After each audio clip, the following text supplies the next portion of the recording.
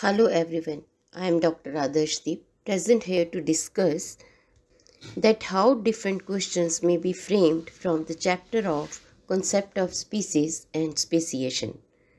These questions may be divided into three categories. The first category is very short answer type questions which you have to answer in 2 to 3 lines.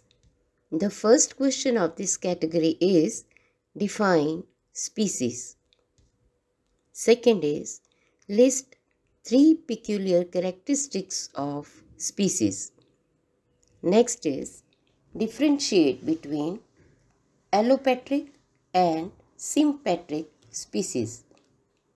Next is why species is called as genetically closed system.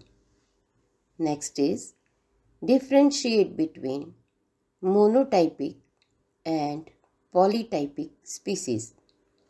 Next is differentiate between biological species and sibling species. Next is differentiate between allochronic and synchronic species. Next is name various forms of species concept. Next question is what is speciation. Next is define hybridization, give its significance. Next is define natural selection. Next is what do you mean by differential reproduction? Next is differentiate between geographical and ethological isolation. And the last question of this category is differentiate directional and disruptive selection. Next category is short answer type questions which you have to answer in a single paragraph. So first question of this category is describe various types of species.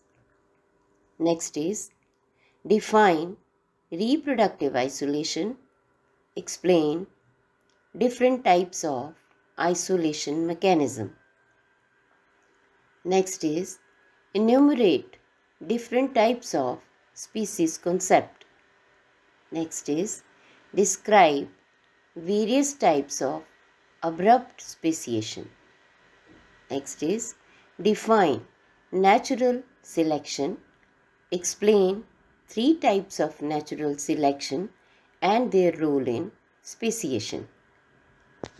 Next is explain two types of gradual speciation giving one example in each case.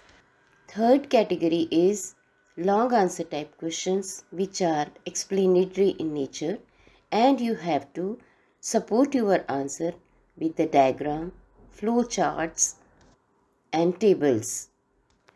So first question of this category is explain certain exception to species concept. Next is define speciation, explain various modes of speciation in detail. Last question of this category is write note on following A. Reproductive isolation B natural selection, C. Biological concept of species. So this is all about the questions. Do all the questions and submit your answer to your teacher in the college. Good luck. Thank you.